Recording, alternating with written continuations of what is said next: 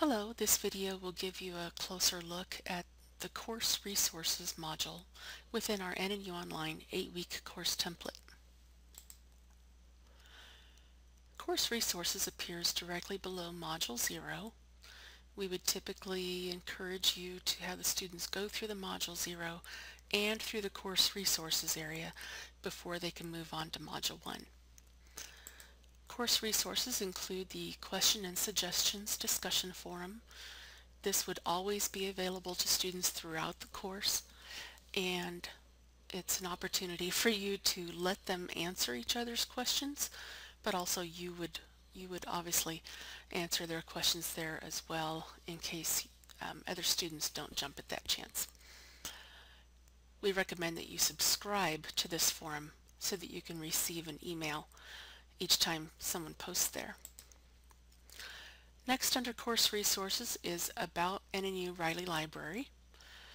This gives students information uh, and links out to the main library website, the subject guides, and by the way you can actually ask the librarians to create a subject guide for your given course or for your department, and a guide to using the library itself and an opportunity for students to actually come to the library. It's a great place.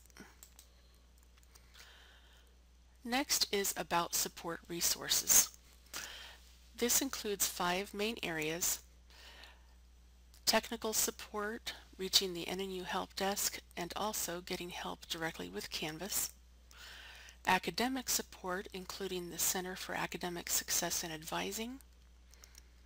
Writing support, we do have an online writing center where students can upload their paper to get feedback before they submit it. Accessibility support if they need to request accommodations. And then student services.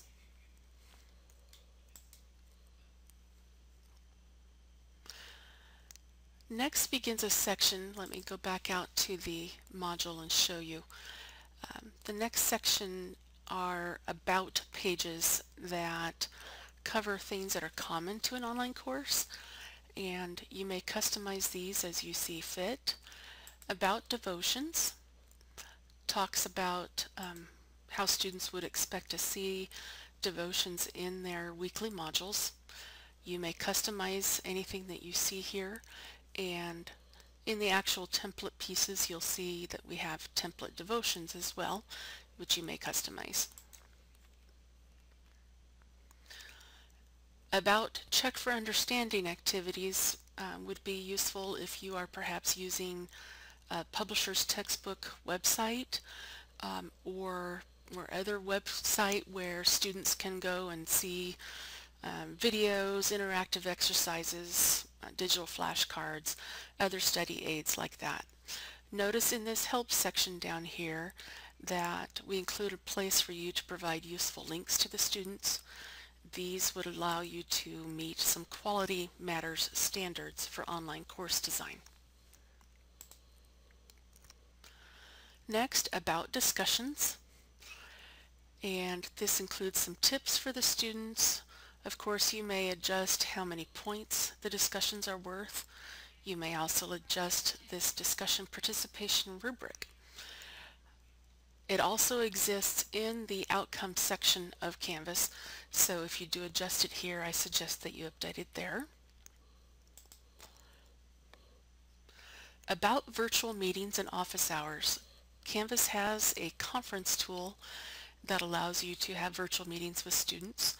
We encourage you to do that and again this provides helpful links to the students to know how to get involved with that.